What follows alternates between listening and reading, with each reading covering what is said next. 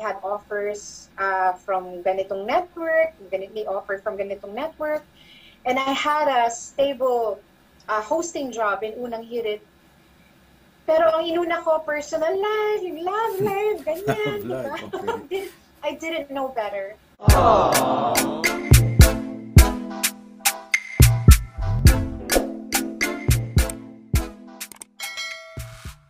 And this time, we have my kumpare again, paring Eugene Asis of People's Journal. Please stand by kay Kadahar ng Random Republica.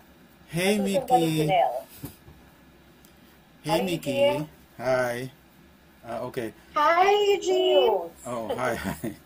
Ah, anyway, ah kanina na parang nag-start ka na nung ano eh to open up some some things about your life, yung pagiging honest. Ano sa palagay mo yung mga nangyari sa buhay mo na pinagsisihan mo at na sa isip mo ngayon na parang dapat hindi mo ginawa noon? Ah, um, career-wise, yun nga, kasi ngayon madalas mangyari, I look back on the days when I was starting, I had offers uh, from ganitong network, ganit may offer from ganitong network, and I had a stable uh, hosting job in Unang Hirit.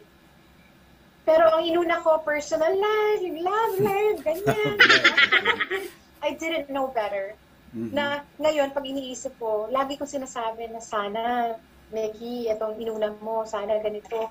Kasi yung mga inuna ko nung panahon na yon wala na. Mhm. Yung yung love life, love life ko noon, wala na, 'di ba? But I, my career could have stayed sana. My hosting career sana could have stayed. And then, um, sa personal naman, Eugene, um, siguro ang regret ko is nung hindi pa ako Christian, tapos lagi akong selosa. Alam mo yung kada ano, selo, selo. Sa ganda selo. mong yan, sa ganda mong yan.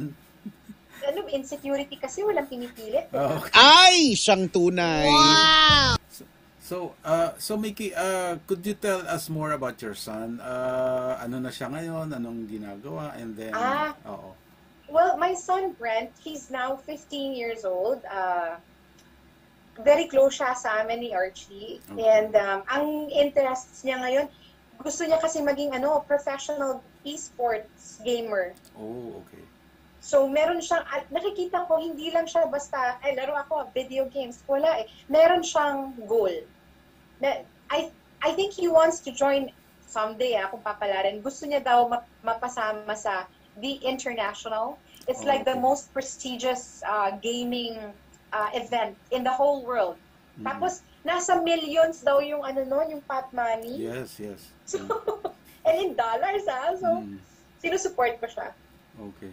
And then, yun, he's interested to try showbiz nga daw. Okay. Ah, tapos ah, ano ba siya? Very close din sa kanyang dad and paano yung ano nila? Paano yung arrangement ninyo? Um, si Archie kasi, ah, wala kaming yung strict rules na dumaan sa korte. Wala kami kasing ganun eh. Mm, Okay. Ang iniisip ko kasi, Brent needs Archie as much as he needs me. So, Archie can see him anytime. Mhm. In fact, ah, alam ko, in April, pupunta yata silang Boracay to celebrate ah, his birthday. So, Mhm. kasama niya, magkakasama sila. Ako, okay, go. Ah, very close siya kay Archie and sa akin. Kasi mabait ko si Brent, nakikinig, nakikinig naman. eh. Mhm. Siguro mana sa'yo. Ano yan? Mana din. May, may kakulitan din siyang namana sa daddy niya. Okay. So what what what do you expect now na nasa Viva ka? Ano yung bakit uh, I mean yeah, you could do it on your own pero dahil nasa Viva ka, ano yung mas ina-expect mo ngayon? Kasi when you um when you think about Viva, ang alam mo agad yung Viva artists, ang gagal ang gagaling eh, ang ganda ng takbo ng career. So sabi ko, when I was looking for new management, sabi ko, why why don't I try Viva? They're they're pretty like I said, they're pretty distinguished Mhm. in in as a management company. So hindi naman ako nagkamali kasi ah, ang dali ng naging pag-uusap and like, may project na agad. So nakakatuwa naman. Mhm. Ah, are you willing to do ano, yung mga May December affair movie and be paired with a younger leading man? Yeah. I mean, ang role kasi na namin na actors is to act eh. Mm. So, uh, whatever new challenge or whatever new role is given to me, I would gladly welcome that. Uh, medyo ano lang, uh, medyo wala lang siguro ako yung mga torid-torid na ano, hindi ko yata kakayanin. So, pero pero yung sa Yun yung mga- roster of talents of Viva ng mga young leading men, sino doon ang mga naisip mo na pwedeng maging leading man mo? oh my gosh, hindi ko, hindi ko alam eh. Sino ba yung mga ano natin? Ang Si dami Ma- kasi lahat Marco okay eh. Gumabaw is there. Si Marco kasi, uh, we acted in MMK before. Anak ko siya. Okay.